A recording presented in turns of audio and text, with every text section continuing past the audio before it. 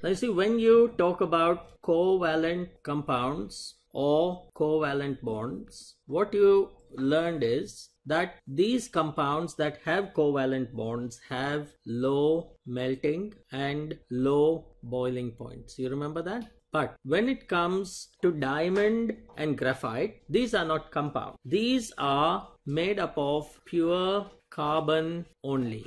And these two forms of carbon are diamond and graphite. Now, how can one element exist in two different forms? This property by which one element exists in two or more different forms is called allotropism and these are called allotropes of carbon. Is that clear? Any doubts? Now, what is an allotrope? An allotrope is two different forms of the same element and they show different physical properties. Now, for example, diamond has a higher, a very high melting point when compared to graphite. Graphite also has a high melting point but the melting point is lower than diamond. So this is a lower melting point than diamond. We'll see why each of these properties exist. Okay. Secondly, graphite conducts electricity, but diamond cannot conduct electricity. Does not conduct electricity. Diamond is very, very hard, whereas graphite is slippery. And because it's very slippery, it is a good solid lubricant. Is it clear? Now, why are these properties different? When both of them are made up of the same compound, why should the prop both of them are made up of the same element, not compound? Why should the properties be different? The arrangement of the atoms are different, and that's because of the type of the way in which they are bonded. Now, let's have a look at how they're different. See, each of these circles here represents one carbon atom. Now, let's look at the chemistry of carbon atoms first. Okay before we go further into this. Now, if we look at the chemistry of a carbon atom, you know, carbon 6, 12. That means it has the electronic configuration 2, comma 4. So, in the first shell, there will be 2 electrons and in the second shell, there are 4 electrons. So, if carbon has to complete its outermost shell, how many, how many electrons will it need? It will need 4 more electrons to complete its outermost shell because the outermost shell must have 8 electrons. The second shell must have 8 electrons. So each carbon can form 4 covalent bonds with other carbon atoms. Can you understand this? Now, if you look at, so what's the maximum number of bonds each carbon can form? 4 covalent bonds. Now, if you look at diamond, let's look at this one, I'll, I'll color this in pink. Now let's look at this one carbon atom in the center. How many covalent bonds has it formed? Let's see. We'll, we'll color those bonds red. One, two, three, four. Can you understand this? Look at another carbon atom in this. Okay. Let's look at this carbon atom here. How many bonds has it formed? Likewise, one, two, three, four. So are there any free electrons? Are there any free electrons in, in these carbon atoms? All the electrons in the outermost shell have formed covalent bonds with other carbon atoms. So because there are no free electrons, the diamond does not conduct electricity. So what happens in diamond? See, in diamond, each carbon atom, each carbon atom forms what? Four, most of them, four covalent bonds. Four covalent bonds with other carbon atoms. So is there any way by which it can conduct electricity? So there are no free electrons to conduct electricity. Can you understand why diamond cannot conduct electricity? Now let's come to graphite. Now have a look at this carbon atom here. Let's color the carbon atoms pink again.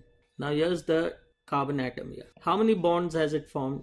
One, two, three bonds. If you look at any carbon atom in that structure, it's forming only three covalent bonds with other carbon atoms. So what will happen to each carbon atom? Will each carbon atom now have one free electron?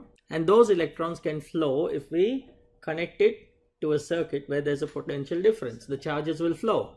We are not showing the complete structure. We are showing a very small part of it now. So most of them will be bonded. The ones at the edges will have less bonds, but most of them in the core will have three bonds with other carbon atoms.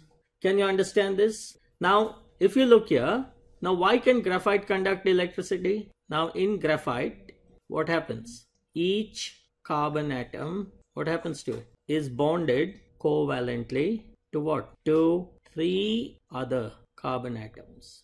So, what happens? So, each carbon atom has one free electron, comma, which allows graphite to conduct electricity. So what will be your simple answer if you ask why can graphite conduct electricity but diamond uh, cannot conduct electricity? Answer is in diamond each carbon atom forms four covalent bonds so there's no free electrons left to conduct electricity. Whereas in graphite each carbon atom is covalently bonded to three other carbon atoms but carbon can actually form four bonds. There are four free electrons in the outermost shell. So there are free electrons which can be used to conduct electricity. Is this clear now? Okay. Now you see why is graphite a good lubricant whereas diamond is not a good lubricant. Diamond is very hard and yes. Now why is it slippery? Now if you look at this, now this is a carbon atom and this is a covalent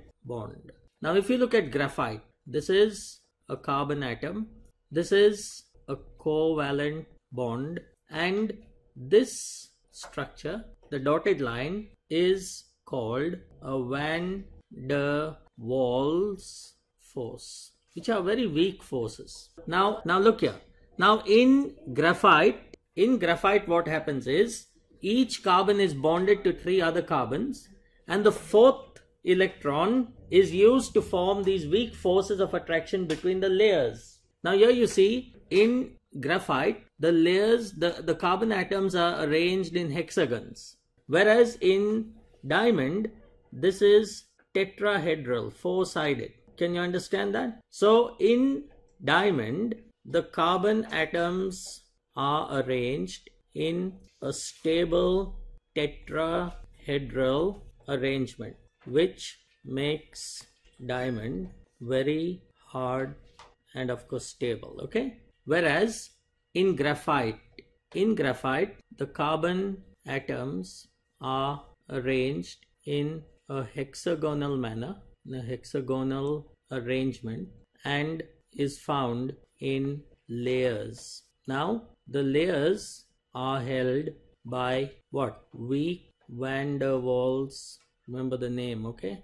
Van der Waals forces, yes, comma, which allows the layers to slide over each other. Can you understand that? So that it can act as a good lubricant. Any questions on this? Now you see, even though graphite and diamond are covalent molecules, they are not covalent compounds, they are covalent molecules because they are made up of the same atoms, right? Only carbon. It's not a compound, it's an element, but they are covalent molecules. Now, covalent molecules should have a low melting point but these have high melting points because there are large number of covalent bonds. And that's why the melting points are very high. Now, why is the melting point of diamond more than that of graphite? Because each carbon in diamond forms four covalent bonds, whereas in graphite, each carbon forms three covalent bonds. So, which has more number of covalent bonds? And because this has more covalent bonds than graphite, the melting point is higher because more energy will be needed to break these bonds to set the molecules free so that they can melt and flow away from each other. They can slide over each other. Can you understand this now? And these molecules are called as macromolecules because they're very large molecules. Giant molecular structure, macromolecular structure. You'll often come across this okay? And if they ask you why they have a high melting point even though they are covalent compounds your answer has to be because they have a large number of covalent bonds. A lot of energy is needed to break all these bonds. Is that clear